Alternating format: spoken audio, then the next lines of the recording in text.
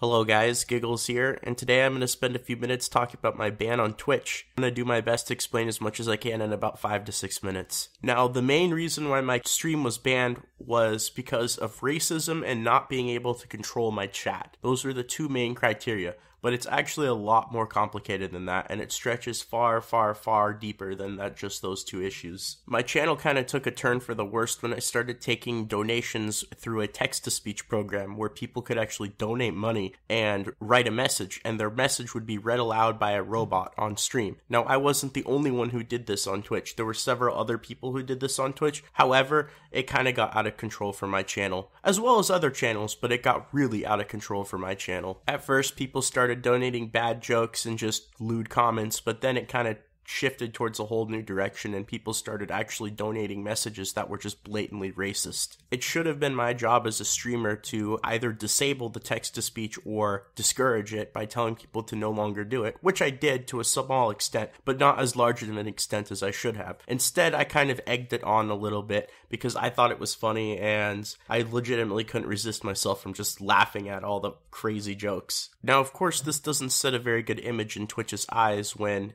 you're a broadcaster with thousands of viewers and you're laughing at all these racist jokes, right? Well, anyway, things were somewhat manageable and I didn't really get in too much trouble until one fateful day. And that day was when my live stream was broadcast on Sony Online Entertainment's front page without my permission. My stream was also labeled as an 18 plus mature audiences only stream, and they hosted it on their page for everyone, all viewers of all ages, without my permission, without asking me, or without my consent. While my stream was hosted on their front page, a racist joke popped up and everyone on Sony Online Entertainment's page was able to see this racist joke and my reaction to it. This obviously did not end very well, as it ended in a giant Reddit post that reached the front page, pretty much just bashing my entire stream and eventually ending up Twitch getting me closed down. However, I was brought back to Twitch after a warning. Twitch told me that, don't do this again, it's okay, we're just gonna give you a warning, but please refrain from using text to speech and please refrain from reacting to racist jokes. So this is exactly what I did. I disabled my text to speech program and I refrained from egging on or encouraging any kind of racist remarks or jokes. Completely out of nowhere, my stream was brought down and banned again, just completely randomly while I was playing poker and just chilling and having fun. There was absolutely nothing racist going on, no jokes, nothing, no text to speech. My stream was just brought down out of nowhere. I received a phone call and email from Twitch pretty much telling me that they had changed their mind and that they were instead going to keep me permanently banned for my actions and that they really weren't going to make it a temporary ban anymore and that they were going to just change it to a permanent ban and that they had just essentially changed their mind. So, what does this lead me to believe? What does this lead you to believe? I should ask. Were there things that I did that were my fault? Absolutely.